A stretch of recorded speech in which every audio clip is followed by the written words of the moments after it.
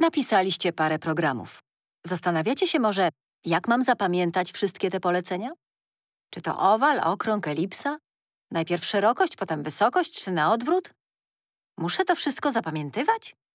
Na szczęście nie. Po to jest komputer. Programując, zawsze mamy go przy sobie, a komputer dobrze zapamiętuje. Lepiej niż my. Niech komputer zapamięta szczegóły i będzie słownikiem programowania. My skupimy się na pisaniu programów, a nie na wkuwaniu nudnych szczegółów. To tak zwana dokumentacja, objaśniająca, jak programować w danym języku i środowisku z przykładami i trikami. Gdy nie pamiętamy szczegółów, możemy je sprawdzić.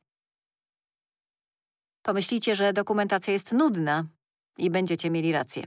Weselej jest programować. Ale jeśli nie chcecie zapamiętywać wszystkiego, nauczcie się korzystać z dokumentacji lub jakoś kodować pomysły. Wielcy programiści nie zapamiętują wszystkiego, bo świetnie radzą sobie z dokumentacją. Rysuję uśmiechniętą buźkę. Twarz i oczy zrobiłam za pomocą funkcji elipsa, którą dobrze znam. Ale to nie wszystko. Chcę zrobić gruby kontur, jak w naklejce. W nazwie było stroke, czyli pociągnięcie pędzla, ale nie pamiętam dokładnie. Zamiast siedzieć i próbować coś wymyślić, co zajęłoby godziny lub całą wieczność, zajrzę do dokumentacji. Postaram się znaleźć to polecenie. Sprawdzam w kategorii kolory, bo to pasuje.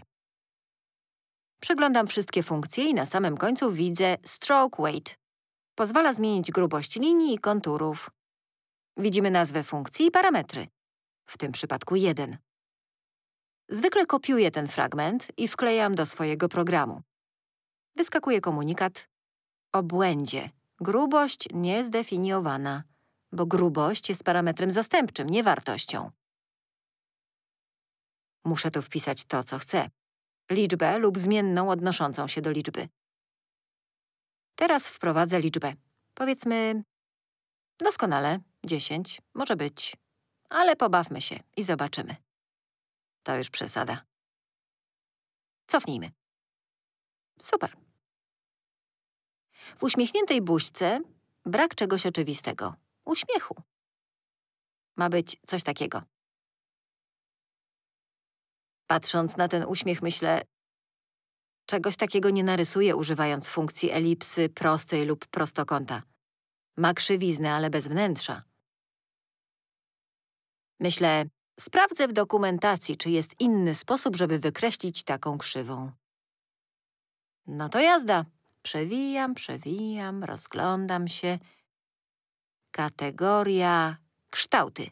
Aha. Pierwsza jest funkcja arc do rysowania łuków. I dobrze, bo tak właśnie wygląda uśmiech. Tu jest znacznie więcej parametrów. Najpierw to wkleję. To parametry zastępcze. Trzeba wpisać to, co chcemy tu umieścić. Dobrze, x oraz y. Może zacznę właśnie od tego. Powiedzmy, środek to 200, więc dajmy tu 150.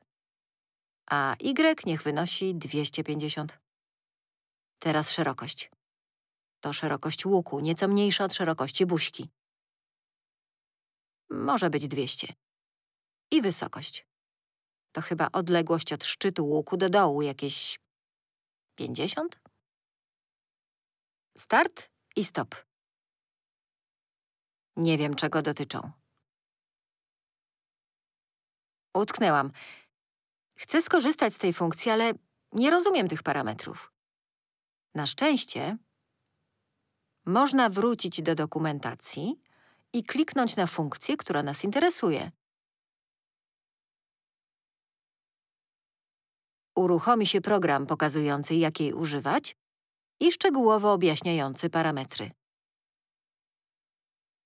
Tutaj jest napisane, że x to współrzędna x środka elipsy tworzącej łuk.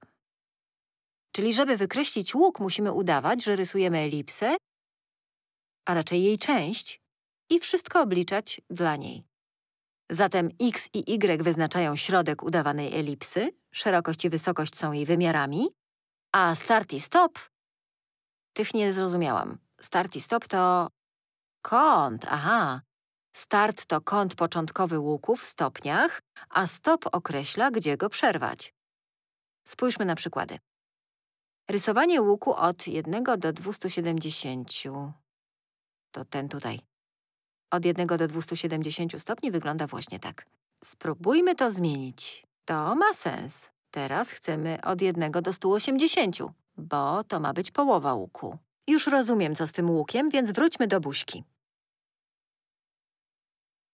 Robimy łuk od 0 do 180 i już prawie gotowe. Przesunęło się, bo nie wiedziałam, że x to środek elipsy. Uśmiech jest za szeroki. Zmniejszymy go. Ha! I jest uśmiechnięta buźka.